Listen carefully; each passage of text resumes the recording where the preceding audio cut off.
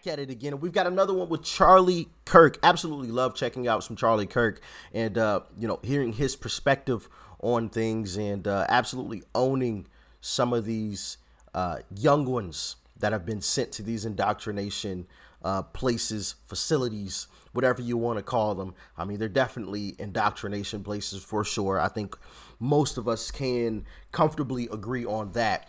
Uh, I, I, recently even saw a post on Instagram that was just absolutely insane. Like a mother posted a picture of her daughter before college and then posted a picture of her daughter after she came back from college and whoa i might actually repost it. So make sure you're following me on instagram. That link is down below in the description box. And with that being said let's dive in. I've been pretty interested listening to your talk because you begin by saying that it's facts, not feelings, that matter. Um, which, yeah. A- anyway, yes. interesting. But yes. And matter of fact, uh, make sure you guys are subscribed to Turning Point UK and Turning Point USA. All right, make sure you show the show these guys uh, some major love and support. um, listening to you talk, it seems that your rhetorical strategy is playing into people's emotions. I mean, you have a very angry style, and I'm not. Um, what? I you should see when I really get pissed off. right? um, this is just calm. And it doesn't. It doesn't seem as though you're presenting. You're presenting a long series of different arguments. Um, it almost reminded me of a stand-up show, right, where you go from bit to bit, which was entertaining. Um, but I guess my question is, are you talking about? You say facts, not feelings, but do you think that your rhetorical um, whatever rhetorical power you have, that it's coming from the feelings that you're creating in your audience? Or do you think it's actually coming from the validity of your arguments? So what are you saying that our, our facts are creating feelings? Is that what we're what you're saying? No, it's it's just this presentational style you have. It seems to be tapping more into feelings than facts. What? Right? So I wonder how do you reconcile that with what you said at the beginning? Well, we're talking about facts, so I don't I don't really understand what you're saying. You're saying that the facts are making people emotional. Is that is that the well, argument? Yeah, I mean, so I look. don't really get what he's saying. I mean, I, I hope you. Some people laughed, and some people thought about issues a little differently. But that's the key thing. If thinking is your, if thinking is the gateway to feelings, then so be it. However, we used a lot of facts. She talked about black single motherhood. We talked about the de- deterioration of the inner cities. I just rattled off a bunch of facts about the southern border, whether it be crime or drugs or illegal, you know, illegal immigrants coming in this country. Everything we have has a statistical backing and a logical reason behind it. So when we say facts over feelings and you're creating and sculpting public policy, we take a step back and we do critical thinking and reflection based on logical history, perspective, and good ideas, timeless ideas that can stand the test of time and natural rights and respect for the individual. Now, whether people find that funny or entertaining or whether you play into it a little bit, I'm glad you find it entertaining. That's good. I, because it's good we're if the packing facts are entertaining. and obviously this is it's great. working. Yeah, and, and, and that's that's really the thing. Is it doesn't it doesn't really matter if it causes excitement, but if we're saying is true and it's verified by facts, we're not up here talking about our feelings. I'm not telling a sob story here. I'm, mm-hmm. I'm backing. I'm giving you evidence for why I believe what I believe, why we believe all of these things behind us. Um, so I, I, I, guess your question is really to the audience. You're asking them why they're getting excited, maybe because it's the first time that they're seeing their ideas reflected on campus. Ooh. Thank you. Facts. And uh, Candace Owens definitely had a point there because we we've checked out you know videos of people on college campuses saying that you know I don't feel comfortable you know speaking out as a conservative. I don't feel comfortable saying you know hey I support this Republican here. I just don't because of the environment. I fear retaliation, you know, from my teachers, which is just absolutely unacceptable. You know, the the the the audacity for some of these teachers to potentially punish these students that are paying their salaries. Paying their salaries. Oh, I'm going to punish you even though you're paying me.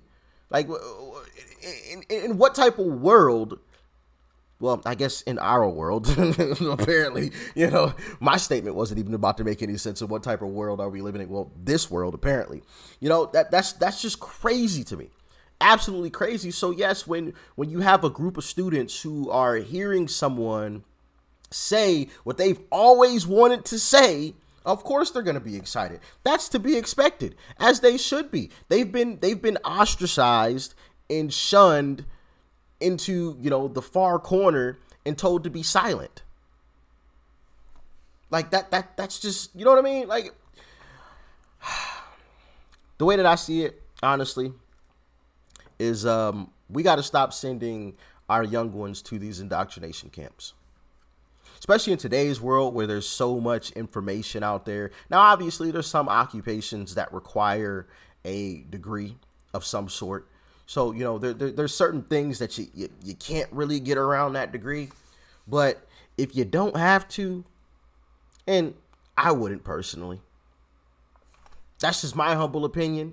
You guys can let me know how you feel. Obviously, I'm not telling anyone, you know, how they have to raise, you know, uh, you know, their their kids and whatnot. I'm just giving obviously my perspective and my opinion on it.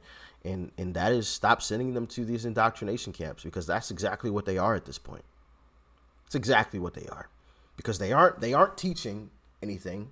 These kids aren't coming out, you know, vastly smarter than kids who who who didn't go to college.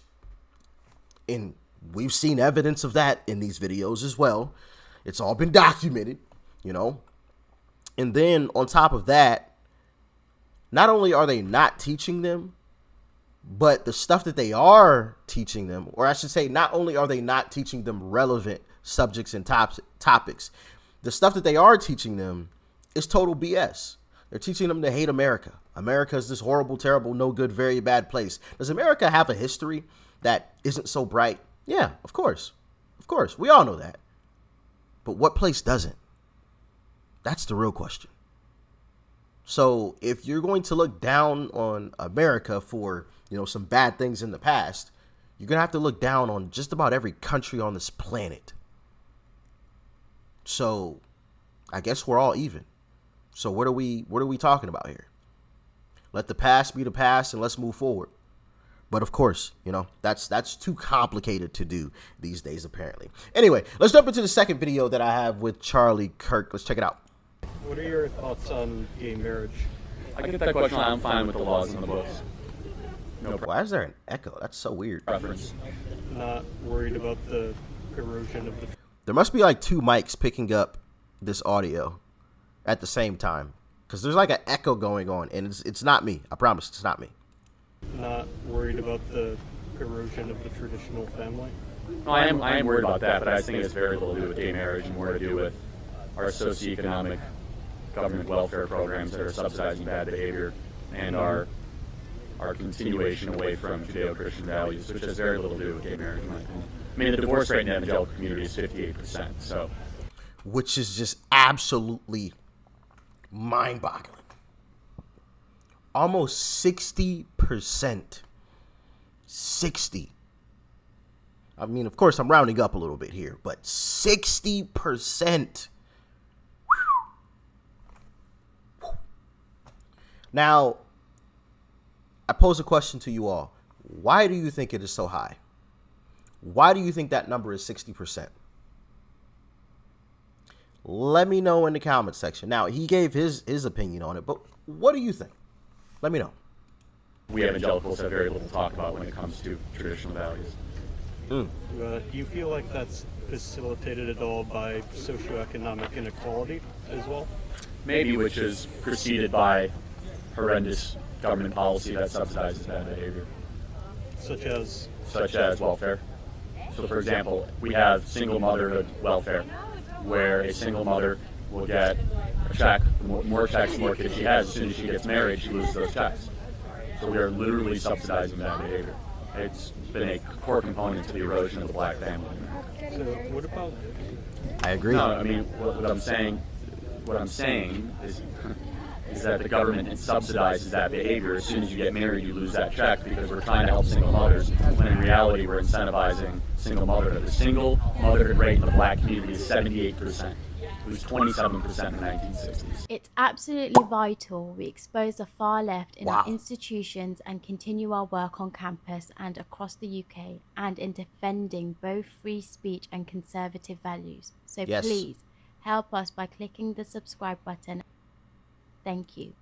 Absolutely. Absolutely. Go subscribe to Turning Point UK and Turning Point USA. They do some fantastic work. And obviously, we've checked out lots and lots of Charlie Kirk's and, and Turning Point's uh, videos. So definitely go show them some major love and support. They deserve it. They deserve it for sure.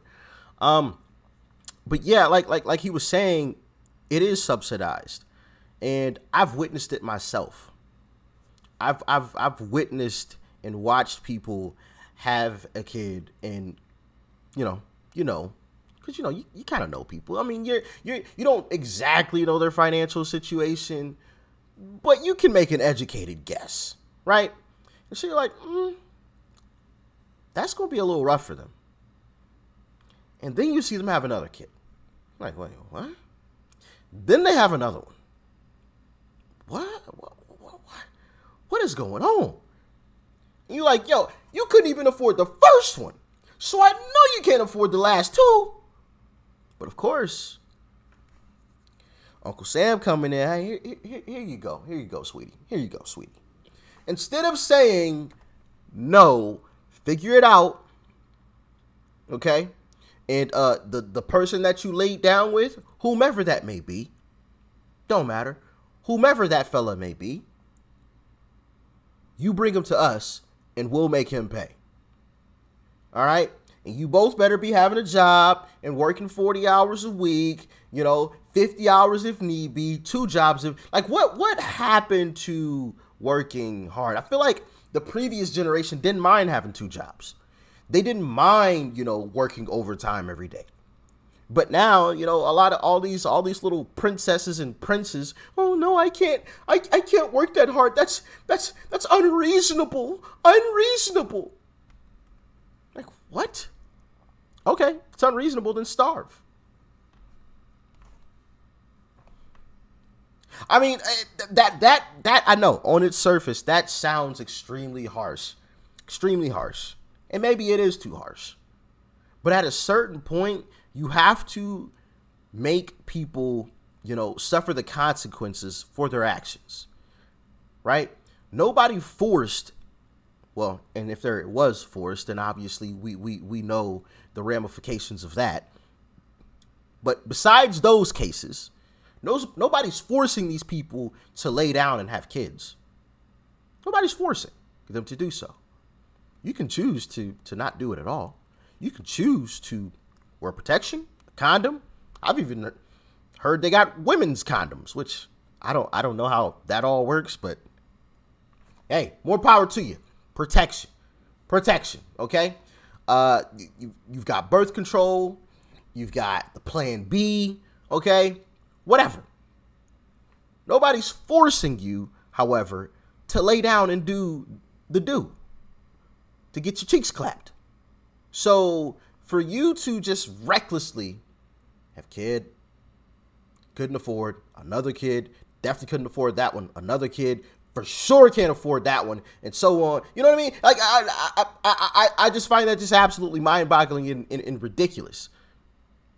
And kind of disgusting, honestly, with you know the, the, the recklessness with which people do that, because those kids are going to suffer those kids are going to be raised in, in, in, in, you know, not so great of conditions, not in the greatest, you know what I mean?